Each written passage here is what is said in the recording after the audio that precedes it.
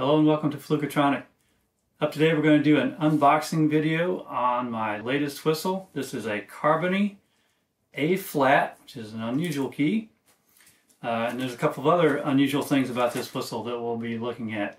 But I picked this up uh, from the holiday sale from uh, Mr. Grey Larsen. You can buy these from direct from the uh, carbony.com website. Uh, but Mr. Larsen has an arrangement with uh, the Carbony maker, uh, Rob Gandera, I believe is how you say his name. And there's a couple of um, interesting things that you can get that are not listed on the main website. Okay, so here's uh, how it comes. You get a, uh, just a plastic bag and also a little whistle bag. That's pretty cool uh, and a fingering chart. So this is considered a low whistle, even though it's an A flat. I think most folks, it's kind of on the border between alto and low, I guess. Um, a flat fingering chart. So, yeah, let's see if we can see that. So you get a little chart that gives you the fingerings and concert pitch of the notes. Now just scanning this, first time I've looked at this, so just scanning this, um, trying to look if there's anything weird here. So the, the top line is just your standard diatonic notes. Not really seeing anything weird there until maybe you get up at the very top. Um, third octave kinds of notes, which I'm not going to get that high anyways, probably. Um, and then the uh, cross finger. So we'll, I'll study that later, see if there's any intricacies, but hey, let's just uh, give it a whirl. So here we go. Good size. First blow on the carbony, carbon fiber. Oh, guess we'll say that. That's kind of the big selling point of these. Carbon fiber material, almost unbreakable, very lightweight. See what happens.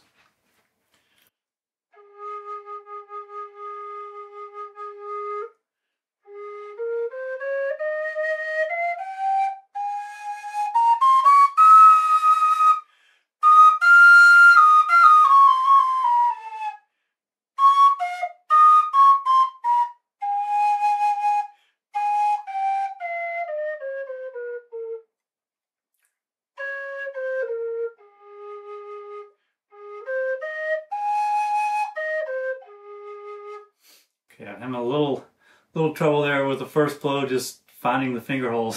Some of those odd notes were just um, not having the finger holes well covered. Let's try that again.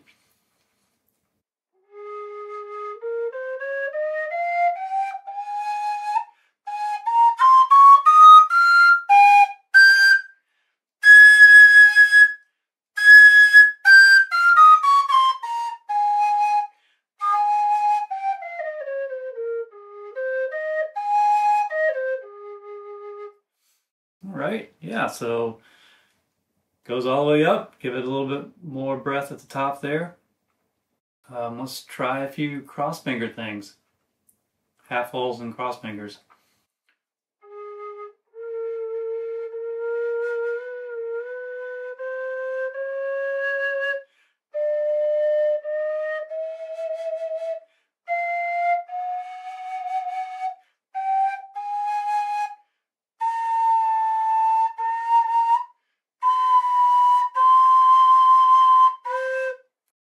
Probably enough of that. Obviously, I need some practice. This is uh, why I don't do unboxing videos very often. Uh, it does take some time to get used to it. But now let's come to um, the reason I wanted to get this from the Grey Larsen site instead of direct from Carbony is that Grey has a uh, some kind of arrangement um, with Carbony that offers back thumb holes. What those are good for is that the bottom hole is intended to give you that minor third on the bottom. So if this were a C whistle, it would be the E flat note. Um, D whistle, would be the F natural note. And on the top is supposed to give you the flatted seventh, which on a C whistle would be B flat or C natural on a D whistle. So obviously you have to keep those closed when, when not playing those notes or you'll get something else weird. um, all right, so let's see how that works. So we're going to go like a C, D, E flat, kind of a you know, A flat minor on this one. Let's see how that works.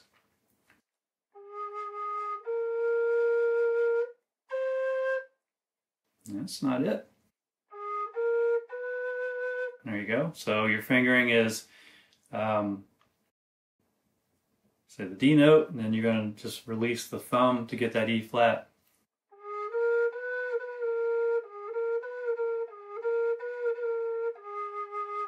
And that is a lot easier to get than trying to half hole that, um, that note.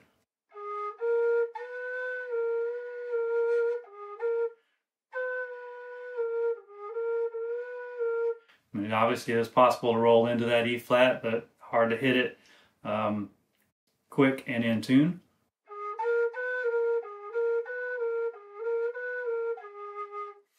And same with the upper hand. So let's try going from uh, G, A, B flat.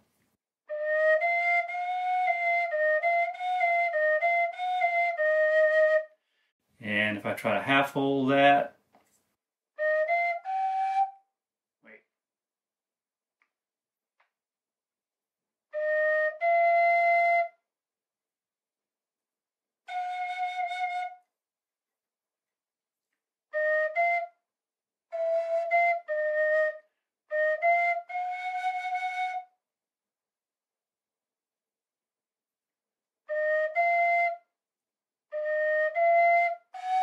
Oh, I was opening the bottom hole at the same time. That's why it was going up weird.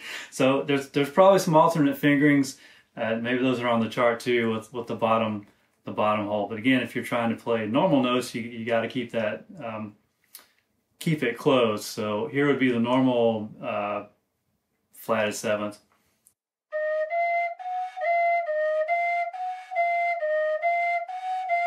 And then with the uh, thumb hole.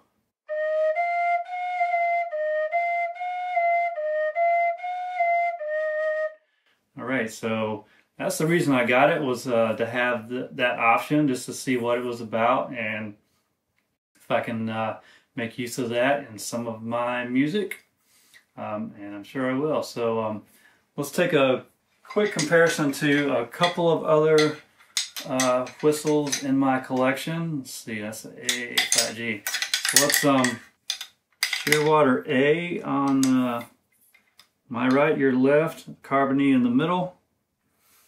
And on your right is a G from Nick Metcalf. So you can see this is obviously a wooden whistle, much larger bore. Um, it's going to be very similar in terms of finger spacing, size, bore size, all that. It's probably closest to this A whistle. Um, I guess we could also see how it compares to this G whistle. We'll see, this is a um, Thunderbird, Chieftain Thunderbird. So you can see the hole spacing is a lot more comfortable than that G even. Let's just do a quick sample of how it compares with, um, this is probably the closest, closest one I've got. This is the uh, Shearwater A.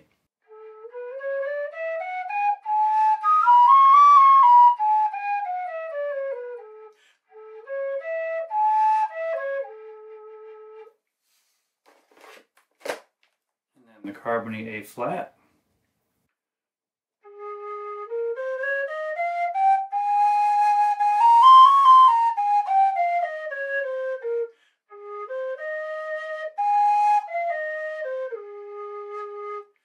So a little bit louder than the Shearwater, maybe a little less breathy from playing position. So um, yeah, that's uh, basically it for the unboxing. Uh, we'll be seeing what we can do in terms of cover tunes or original music with this guy and making good use of those thumb holes. So yeah, just out of the box. Um, very glad to add this to my collection and I'm sure it'll come in very handy and uh, uh, useful Uh, coming up here soon. So thanks for watching and we'll catch you next time on Flukutronic. Bye.